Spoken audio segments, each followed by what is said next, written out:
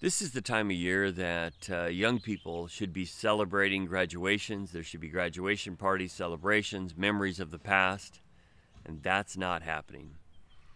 Um, this causes me to think back to the time when I graduated and left for college. And um, several years I lived in the dorms and ate the cafeteria food, and I had no problem with that at all.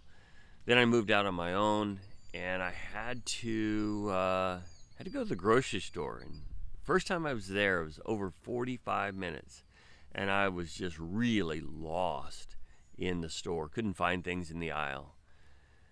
Came home and determined that's not going to work. So I developed a menu that I would uh, use every week and a shopping list. And in that shopping list it was uh, written by aisle. So I could go in there and in 15 minutes I could take care of what I needed. So I was bragging to my friend about this and they said, Well, how much do you spend a week? And I told them, and they said, That's almost unbelievable. Nobody can survive on that little bit of money. And they said, What are you buying? And so I shared with them some of the things I was buying. Well, I learned a little more that day. Uh, one of the things that I told them I really liked was grilled cheese sandwiches. And they said, You're not buying American cheese, are you? I said, Yeah. I ate it my whole life. They said, That's not real cheese. I said, What do you mean it's not real cheese? He said, That's cheese food. I still didn't understand. They go, Read the package. So I did. I couldn't pronounce most of the words. The other thing I found out is there was a spread that I was buying that wasn't real butter.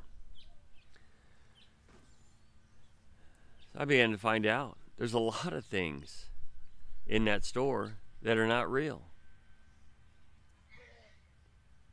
And I had to figure out in life there are things that are real and there are things that are presented as if they are. My Christianity, I went for quite some time being much like this American cheese. And then at the age of 21, I realized that I wasn't truly saved.